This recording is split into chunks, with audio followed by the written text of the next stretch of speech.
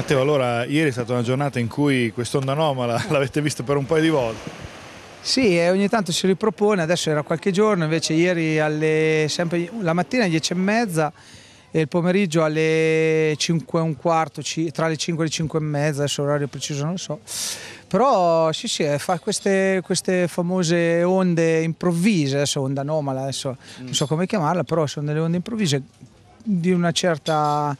potenza e di una certa, di un, insomma, che ha un, uno certo spessore di pericolosità perché comunque ieri tra l'altro quella del pomeridiano ha investito una nostra bagnina che era a fare il bagno con la figlia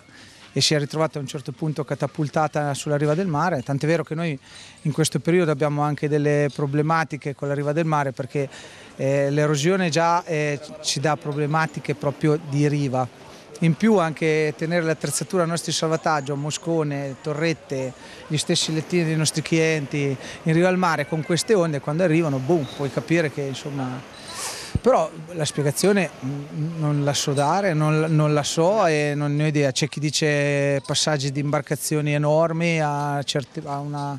a certe miglia,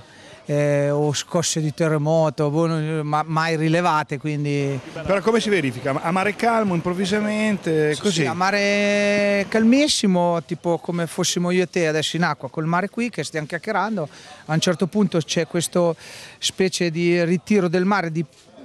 la prima volta è stato un bel ritiro di, di, un metro, un metro e mezzo, poi improvvisamente arriva quest'onda che insomma ti investe completamente. Quindi eh, dipende, non è sempre uguale, una volta è 50 cm, a volte 40, a volte un metro, a volte 80, eh. però ne arriva adesso ne arriva più di una, arrivano sempre due o tre onde, eh, non è una, è due o tre onde. E poi tu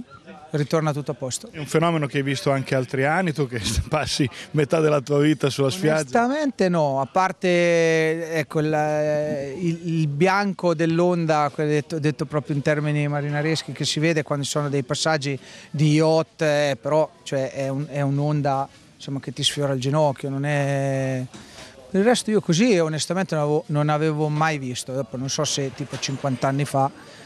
so, magari cioè, sarà, un, sarà, un, fenomeno a cui ci dobbiamo abituare perché magari il mare sta cambiando, non lo so, magari qui da noi magari si, intens- si sente in maniera un po' più intensa perché magari non, ha, non essendo coperto dalle scogliere